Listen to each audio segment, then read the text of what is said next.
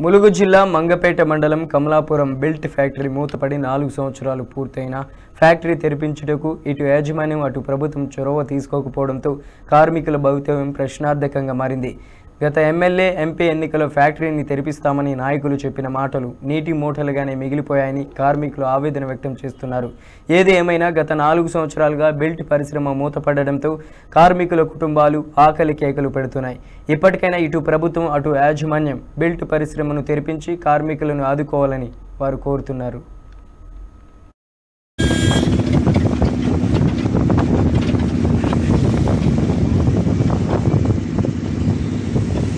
gracias, Flo.